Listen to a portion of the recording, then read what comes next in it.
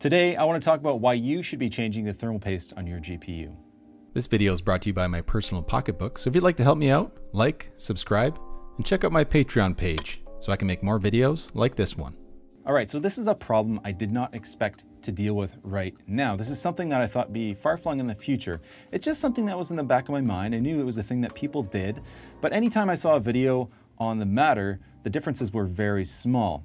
But the problem arose when I was playing Rocket League, no surprise there, and I started to get more stuttering, I started to get audio cutouts, and these uh, just frame dips in general. And I thought this had to do with my Xbox controller because that's a problem I had recently. So after much fiddling with that, it didn't help. But what did help was lowering these settings. So that led me to think that it had to do with the GPU. So when I went ahead to HWiNFO and checked out there, it was pretty obvious that when I was playing on high quality settings in Rocket League, my GPU was getting up to 81, 83 degrees Celsius, and I could see the clock dipping down. So it was thermal throttling. Throttling? Throttling. so I had to figure out how to fix that. It's Rocket League, it's not that demanding. My GPU shouldn't be throttling. Even though I'm playing on a 1440p screen at 170 hertz, I didn't think that this was should be that taxing.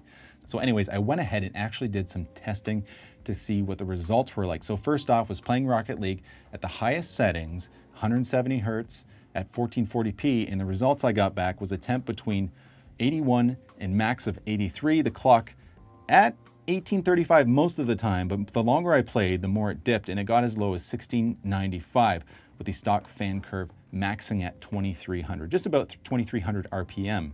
Next I did a high quality again, but this time I decided to max out the fan at 100%.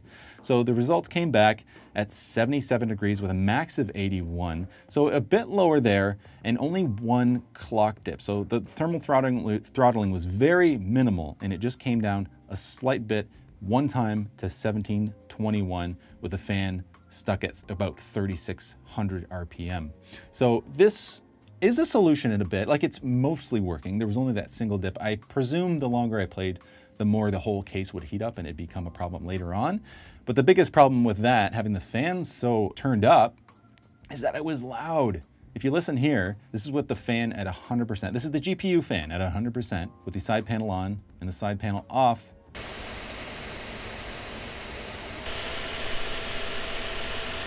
Versus the normal stock fan curve with the side panel on and the side panel off.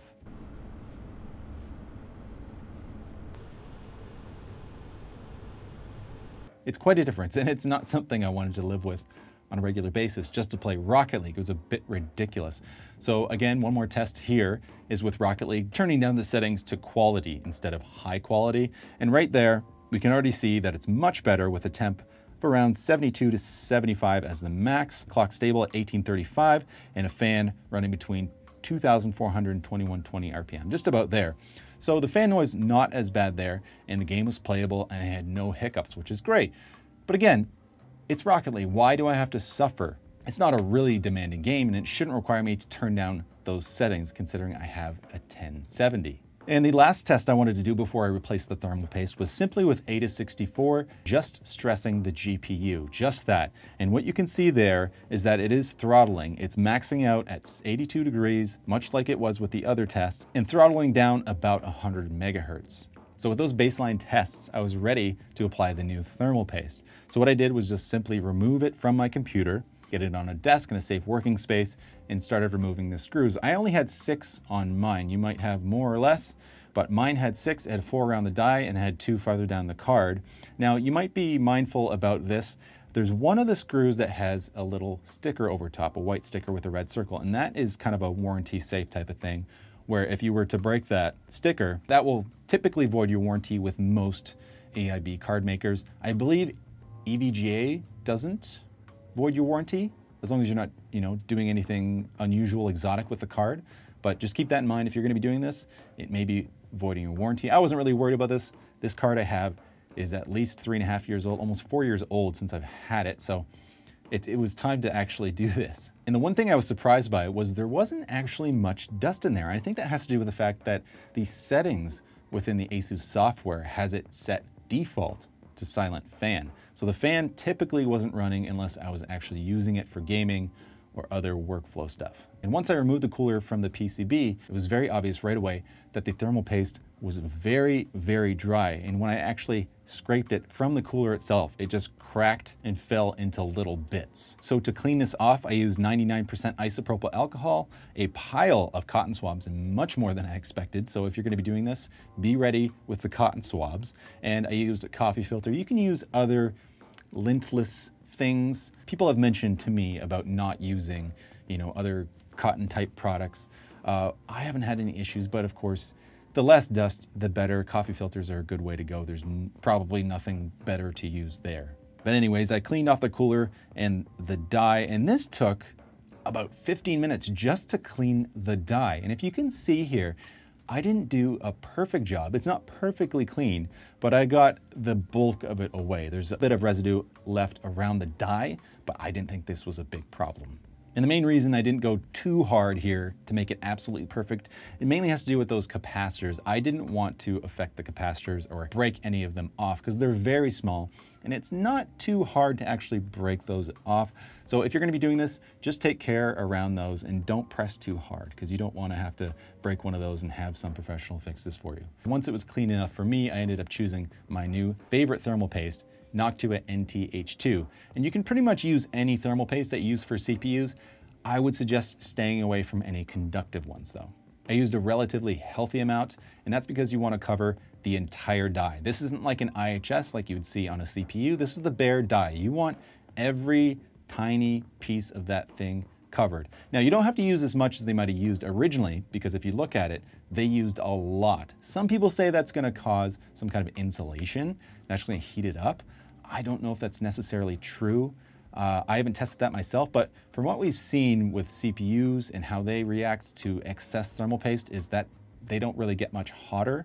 So use enough, don't go insane, but you wanna at least, it's probably better to have too much than too little in this case. I even went ahead and checked after I replaced the cooler to see that the coverage was good, and it was. So reassembly was easy enough. I just screwed it back together and make sure that the fans were plugged in. So I popped it back into my PC and I started with the original test, and that was the Rocket League test, high quality, 1440p, 170 hertz. I wasn't expecting a lot from this. I, I knew it would be different, of course, because of how dry the thermal paste was on there previously.